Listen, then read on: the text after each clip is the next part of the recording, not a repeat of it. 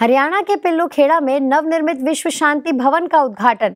Punjab zone प्रभारी BK Premlata दीदी, Panipat circle प्रभारी बीके सरला दीदी ज्ञान मान सरोवर रिट्रीट सेंटर के निदेशक बीके भारत भूषण भाई और राजुक शिक्षिका बीके हंसा। पिल्लू खेड़ा सेवा केंद्र प्रभारी बीके रजनी की उपस्थिति में संस्था के अतिरिक्त मुख्य प्रशासिका बीके जयंती जी के कमल हस्तों से हुआ। इस उपलक्ष्य में पिल्लू खेड़ा स्थित विशाल सभागार में पब्लिक प्रोग्राम का आयोजन भी हुआ। जिसमें बतौर मुख्य अतिथि के तौर पर सांसद रमेश कौशिक जी ने कहा कि मैं कई बार माउंट आबू गया हूँ। वहाँ का माहौल अत्यंत शांति प्रिय और स्वच्छ वातावरण है।